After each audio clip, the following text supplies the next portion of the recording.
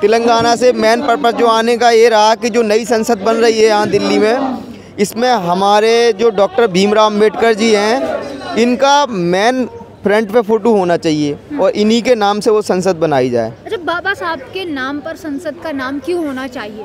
बाबा साहब का इसलिए होना चाहिए सारा कानून सब कुछ तो बाबा साहब ने ही देश पूरा संविधान उन्होंने ही बनाया पूरा कानून से लेकर हर चीज़ तो उन्हीं के नाम से है। उन्होंने ही जो बना के गए हैं उसी हिसाब से चल रहा है और तो किसी के नाम से संसद में नाम भी बेकार रहेगा और हम लोग हम लोगों की इतनी जनसंख्या होने के बाद भी हम लोगों का अगर बाबा साहब के नाम की संसद में उनकी फ़ोटो भी न लगवा पाएँ तो फिर हम लोगों का क्या फ़ायदा इस देश में रहने का और क्या फ़ायदा? हम लोग मूल निवासी हैं और हम ऐसा नहीं है कि सिर्फ़ हम लोगों के लिए ही सब कुछ है वो तो सबके हैं बाबा साहब। चाहे वो कोई भी कास्ट हो चाहे बैकवर्ड हो चाहे ओबीसी हो चाहे अपना दलित हो कोई भी हो सबके हैं बाबा साहब। और मेरी मोदी सरकार से रिक्वेस्ट है हम सब की कि बाबा डॉक्टर साहब भीमराव अंबेडकर जी की नई संसद में फ़ोटो होनी चाहिए। बड़ी तस्वीर लगनी चाहिए। तस्वीर होनी चाहिए कि उनके नाम पे संसद का उनका नाम नाम उनके नाम पे ही संसद होनी चाहिए। तो देखिए बहुत सी पार्टियाँ लगा रही है तो दिक्कत कहाँ आ रही है? तस्वीरें तो आम आदमी पार्टी लगा रही है भाई बड़ी बड़ी बाबा आम के नाम लेके आदमी बोल रही है। आम आदमी पार्टी तो बोल रही है। आम आदमी पार्टी तो ऐसी है कि आज इधर तो कल उधर। अभी जब वोट थे दिल्ली में वोट डलने थे बीच में तो आम आदमी पार्टी बाबा साहब अंबेडकर को फ़ोटो लेके घूम रहे थे खूब नाच रहे थे केजरीवाल के। बाबा साहब बाबा साहब बाबा साहब। अब जैसे ही वहाँ गुजरात में पहुँचे तो बोले, बाबा साहब का नाम नहीं होना चाहिए, नोट पे लक्ष्मी जी की फ़ोटो होनी चाहिए। ठीक है, ये केजरीवाल के स्टेटमेंट है। तो वो केजरीवाल जी क्या है, हैं तो जात के बनिए, वो अपना धंधा पानी वो उसी हिसाब में लेके जाएँगे कि जहाँ जिससे काम है। वो सीएम बनने वाले थे उन्होंने कहा था मैं बनिया हूँ मुझे धंधा करना आता है। हाँ उन्होंने हाँ। उन्होंने उस टाइम बोला लेकिन उन्होंने बाबा साहब के नाम से बोर्ड लिए। तो हम लोगों ने भी ये सोच के कि चलो हम लोगों के बारे में कुछ तो करेंगे बाबा साहब के नाम पे। कम से कम बीजेपी से तो सही है आरएसएस से तो सही है। आरएसएस बीजेपी से सही है? बिल्कुल सही है आरएसएस तो बीजेपी से सही है फिर भी काफ़ी हद तक। आम आदमी पार्टी कम से कम ये तो नहीं है कि भाई मनु मनुवादी लोग तो नहीं है मनुवादी सोच तो नहीं क्या दिक्कत है? तस्वीर लेके अगर वोट मांग रहे तो क्या दिक्कत आ रही है नहीं नहीं काम तो नहीं कर रहे ना। अब अब अब पता चला है इन्होंने अब सारे रंग अपने अपने अब दिखाए हैं। अब तो ये लोमड़ी की तरह रंग बदल रहे हैं। दो दिन में इधर दो दिन उधर। अगर इनको बोलो कि अभी ये गुजरात गए हैं तो अभी कृष्ण कन्हैया बन जाएँगे। अभी यूपी चले जाएँगे तो यूपी में हनुमान जी बन जाए कुछ भी बन जाएँगे। तो मुझे लगता है मुझे लगता है S C S T OBC बड़ा मासूम है। बिल्कुल बिल्कुल। हम इसीलिए बड़ा मासूम है बिल्कुल, बिल्कुल। आपको बड़ी जल्दी से ना मतलब भरोसा हो जाता है। बिल्कुल बिल्कुल। और हम ये मतलब ये खामी है या फिर अच्छाई है खासियत है? खा- ये हम लोग क्या है कि हम लोग भोले वाले लोग हैं। हाँ, भोले वाले इसलिए हैं कि हम लोगों जो हमारे बड़े बुज़ुर्ग रहे हैं वो इतने पढ़े नहीं थे। अब हम लोग पढ़ लिख गए हैं थोड़ा। उनसे ज़्यादा पढ़ लिख गए हैं उनसे ज़्यादा कामयाब होने लगे हैं। तो उनको सर दर्द हो रहा है कि अब हमारी जो मेन रिक्वेस्ट है मोदी सरकार से या कोई भी अ, जो भी सरकार रहे आगे पीछे सबसे एक ही रिक्वेस्ट है कि जितने भी कॉलेज हैं जितने भी स्कूल हैं सब में संविधान पढ़ाया जाए। एक किताब संविधान की होनी बहुत ज़रूरी है। उससे क्या है कि सिर्फ़ दलित के लिए नहीं है, वो हर किसी के लिए। लोग पढ़ेंगे तो कानून के बारे में समझा समझेंगे, जानेंगे। लेडीज़ों को भी इस चीज़ का फ़ायदा होगा कि भाई उनको अपनी ताकत का पता चलेगा कि हम हमें अगर कोई टच करता है तो कौन सा केस लगेगा? कहाँ एफ़ आई आर करनी? है कि जो स्कूल्स की बुक होती थी उसमें सबसे पहला जो पृष्ठ होता था उसमें भारत का संविधान ऐसे लिखा आता है। मैम पहले आता था। हाँ। अब कहाँ दिख रहा है आपको? पहले तो डॉक्टर भीमराव अंबेडकर जी की सब चारों सारी बातें आती थी। पहले की अब पढ़ाई में अब की पढ़ाई में तो बहुत फ़र्क फ़र्क हो गया। फ़र्क ये है कि अब तो वो जैसे जैसे जितना भी बीजेपी की सरकार है टोटल खत्म करते जा रहे हैं जड़ से। अब तो मैंने सुना है उनका नया संविधान भी बन गया है। अच्छा। उन्होंने एक नया संविधान भी छपवाया हाँ। अपना। वो उस हिसाब से चला रहे हैं अपनी मनुस्मृति के हिसाब से चला रहे हैं उसको। तो वो नहीं होना चाहिए ना देखो। तो ये कैसे चला है आप लोग सो रहे थे तभी चला है ना? बिल्कुल ये हम लोग तो पहले बता चुका हूँ हम लोग मासूम थे और हम लोग अब मासूम है। और थे। हम लोग क्या है ज़्यादा इसमें पढ़ते नहीं है। हम अगर सामने वाले कार्ड तो नहीं खेलने की कोशिश कर रहे हैं विक्टिम कार्ड। नहीं अब देखो मासूम बता रहे हैं। मासूम है ही। हमारे जो बड़े बुज़ुर्ग थे दो आँख है कान है नाक है खाना खाते हैं और अब भी जनता देखो अब समझ आ रही ना चीज़ें। हाँ। कल को मोदी जी गरीबों के साथ खाना खा रहे थे। हाँ। सब कुछ था। तो हम लोगों को लगा कि चलो ये भी हमारे ही हैं। अब उन्होंने देखिए यूपी में एक योगी का मंदिर बन गया है। वो भी इलीगल हाँ। है। उसमें रोज आरती होती है मंदिर में। मंदिर में रोज आरती होती है वो इलीगल है उसको कोई नहीं हटाएगा। और अगर किसी गरीब आदमी का घर भी अगर रोड के थोड़ा टक्कर पे आ गया तो बुलडोजर चलवा देते हैं। तो बाबा जी की तो इधर का मंदिर बना हुआ है भाई। मैं कह तो रहा हूँ सावरकर का बन गया योगी जी का बन गया मोदी जी का रह गया। मुझे तो ये डाउट है कहीं संसद में मोदी जी की तस्वीर न लगा दें सबसे बड़ी। वो तो लगनी लगनी है। विष्णु का अवतार बता रहे हैं लग भी जाएगा मंदिर भी बन जाएगा। हाँ, तो बस- विष्णु का अवतार बता रहे हैं। हाँ तो अब विष्णु का अवतार देखते हैं कब तक चलेगा अगली जब 2024 में जब भी इलेक्शन होगा देखते हैं फिर कितना विष्णु का अवतार चलता क्या देख है। लेंगे? इस बार कोई भी व्यक्ति हाँ, हम लोग 85 परसेंट तो हैं कम से कम जागृत हो गए अब कोई वोट नहीं देगा बीजेपी जागृत हो गए हैं। बिल्कुल कोई वोट नहीं देगा। बताइए बाबा साहब के संघर्ष को कभी भुलाया नहीं जा सकता है। लेकिन अब आप लोगों को याद आया है कि बाबा साहब के नाम पर संसद का नाम होना चाहिए और बाबा साहब का जो संविधान है वो पृष्ठों में पढ़ाना चाहिए बुकों बिल्कुल। में पढ़ाना चाहिए अब आप लोगों को याद आ रहा है क्या क्या मतलब कुछ एजेंडा नहीं है ये अब जब ये तो लोग नहीं आप लोगों नहीं नहीं नहीं हम लोग का, का एजेंडा होता तो हम लोगों की सरकार होती सेंट्रल में भी और हर जगह भी हाँ। अगर हम लोग इतना ही अब इतने से कितने मासूम हुए कल परसों दिल्ली में एमसीडी के इलेक्शन थे हाँ। तो हम लोग कोई भी व्यक्ति बाबा साहब के इसमें समारोह में कोई आया नहीं हम्म। एक दो चार पाँच आदमी थे मैं यहीं था उस टाइम जंतर मंतर पे कोई नहीं आया और केजरीवाल को वोट दे दिए। हम्म। दे दिया। दे दिए क्यों? जितना अब इतने से कितने मासूम चाहिए? हाँ। लठ भी नहीं में घलते हैं सताए भी यही जाते हैं। आप लोग। फ्री मैम, फ्री की तरह भागते हैं ना फ्री का तो सबको ही मिल रहा है। राशन चाहिए फ्री की बिजली चाहिए मैम दो है आपको। दो किलो अगर दो किलो शिक्षा फ्री नहीं मिलेगी आपको। बिल्कुल दो नहीं दो किलो अगर राशन पानी से गुजारा होने लग गया लोगों का तो आपको लगता है दो किलो में क्या होता है? दो तीन किलो चावल दाल मिल जाते हैं जैसे उसमें क्या होगा? दस किलो मिलना चाहिए। नहीं मैं ये फ्री वाली बात ही नहीं है। फ्री मिले ना मिले। जो जिसका हक है वो मिले। जो गरीब आदमी जो मिल जिनको चाहिए तो उनको- राशन और अरे पाँच किलो राशन दो दिन पाँच दिन निकल जाएगा उसमें ज़िंदगी थोड़ी ना निकल जाएगी। हाँ। हमको शिक्षा चाहिए। हम्म, ठीक है शिक्षा के बिना कुछ नहीं है। शिक्षा मिलेगी हम अपने आप कमा लेंगे हमें किसी चीज़ की ज़रूरत ही नहीं पड़ेगी। कैसे शिक्षा मिलेगी? शिक्षा इसलिए मिलेगी कि डॉक्टर भीमराव अंबेडकर जी का संविधान स्कूल में पढ़ाया जाए। हम्म, और सभी जो स्कूल की जितनी भी प्राइवेट जो संस्था है, प्राइवेट जो स्कूल हैं, जिनकी बहुत सारी जो महँगे हुए हैं, इनकी बंद किया जाए, सबको एक समान कर दिया जाए, जो सरकारी जो देखिए रिजर्वेशन तो वैसे भी ख़त्म हो रहा है, रेलवे भी चली गई है, प्राइवेट में।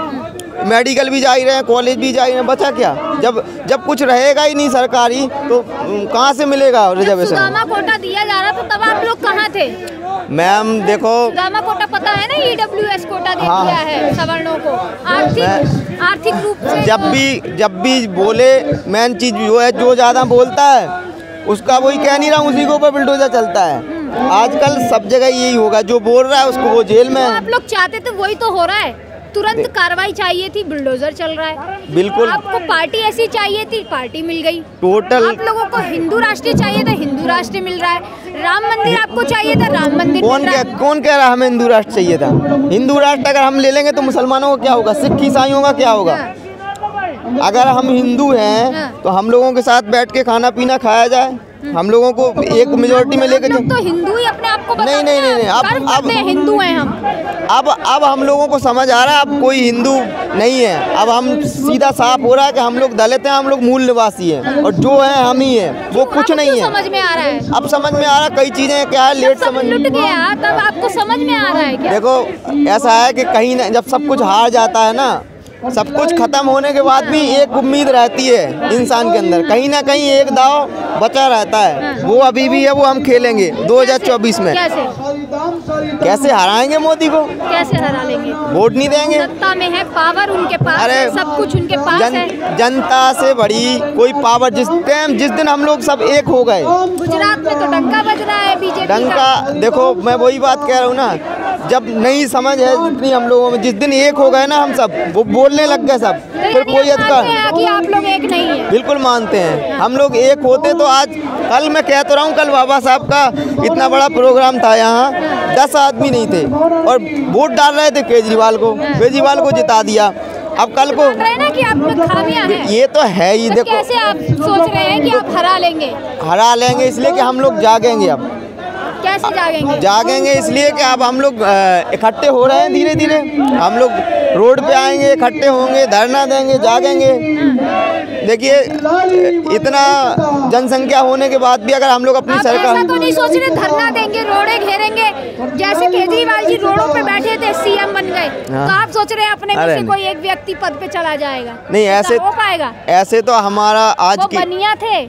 नहीं बनिया थे इसीलिए आता है उन्हें। ठंडा नहीं उनको तो गिरगिट थे ठंडा भी आता। गिरगिट की तरह रंग बदल दिए केजरीवाल साहब इतनी उम्मीद नहीं थी उनसे इस तरह से। जिस तरह उन्होंने जब ये नाम अभी जो गौतम जी थे जिन्होंने ये बाईस प्रतिज्ञा ली थी जैसे कहने वाली बात है साफ़ कोई मन में मानता है कोई मुँह पे बोल देता है। हाँ। किसी को जैसे नहीं जैसे हमें नहीं। लेकिन, लेकिन एक बात है हम्म। उन्होंने इस्तीफा उस पद से दिया है लेकिन एमएलए पद से इस्तीफा नहीं दिया है। किसने? तो मंत्री पद से इस्तीफा मोदी जी तो एक दिन के लिए कुर्सी छोड़ने के लिए तैयार हिलते भी नहीं है। हाँ। उन्होंने उनका जिगरा कहो कि उन्होंने कुर्सी को छोड़ दी। हाँ। दम होना चाहिए कुर्सी छोड़ने के लिए सत्य बोलने के लिए। हाँ। अगला था उनके अंदर बिल्कुल था। दम भी था और कट्टर अंबेडकर था उनके ऊपर? नहीं नहीं कट्टर अंबेडकर वो अगर केजरीवाल जैसे मैं आपके अंडर में काम कर रहा हूँ आप हमारा सपोर्ट नहीं करोगे तो हम कहाँ कुर्सी तो नहीं छोड़ी उन्होंने। नहीं एमएलए की कुर्सी क्या है? क्या कहेंगे? कुछ चीज़ें ऐसी हैं कि उनको एकदम से नहीं छोड़ा जा सकता। कुछ चीज़ें जुड़ी हुई हैं अच्छा। कुछ चीज़ें नहीं- हालाँकि ये चीज़ तो साफ़ हो गई कि केजरीवाल दलितों के मसीहा नहीं हैं और ना ही वो दलितों को सपोर्ट करते हैं। क्यों? इसलिए साफ़ हो गई कि जब उन्होंने बोला कि भाई ना तो गौतम जी के खिलाफ कोई स्टेटमेंट दी है कि उन्होंने सही किया कुछ तो बोलते एकदम से अब तक उनकी चुप्पी रही है। और वहाँ जाके बोल दिया कि नोट पे लक्ष्मी जी की फ़ोटो होनी चाहिए। और ऐसे उदास होकर बैठ गए। ऐसे थोड़ी ना वो तो अ, अपना मतलब पूरा गेम खेल गए कि गुजरात में चुनाव है अगर हम लक्ष्मी जी नारायण जी नहीं करेंगे तो वहाँ बनिए ही बनिए कौन वोट देगा उन्हें? तो उन्होंने बस उन्होंने वो दिखाना था। एक बात तो साफ़ है। लक्ष्मी गणेश जी की फ़ोटो से आप लोगों को नहीं, तो हम लोग- हिंदू बिल्कुल हम लोग- देखो। ऐसे तो- इंडोनेशिया में जो करेंसी है उस पर तो गणेश जी का फ़ोटो हम हम लोग अगर हिंदू हैं तो आज जैसे कोई चौधरी है हम्म, कोई दलित है कोई अहरवार है हमारे इधर यूपी में झांसी साइड चले जाओ आप। एक भी व्यक्ति ऐसा दिखा दो आपके ये यादव है वो पंडित है इन दोनों की शादी हुई है। एक भी व्यक्ति। हिंदू होता तो एक लेवल होता ना एक मेजोरिटी होती। आपके में भी जो S C S T OBC है आपके में खुद जाति जाति का वो करते भेदभाव? मैम- खुद शादी नहीं करते उस जातियों में? मैम ऐसा है कि हम अंदर से सुधरेंगे जब तो सामने वालों को सुधार पाएँगे। तो कैसे सुधरेंगे? लेकिन हम लोग एक लेवल तो है। शादी ना हो बट एक लेवल तो एक साथ बैठते तो हैं। हम्म, एक साथ बैठते तो हैं। अभी इसमें रा, राजस्थान में देख रहे हो इंदर नहीं हो बैठते हैं। मैम एक आप आप चारपाई पे बैठोगे हम नीचे बैठेंगे तो अ, ये तो फिर लेकिन शादी नहीं करेंगे। नहीं, फिर कैसे सोच रहे हैं कि सत्ता में परिवर्तन कर लेंगे परी बात देखो मैम सुनो। एक टाइम था मायावती जी की सरकार थी यूपी में ठीक है?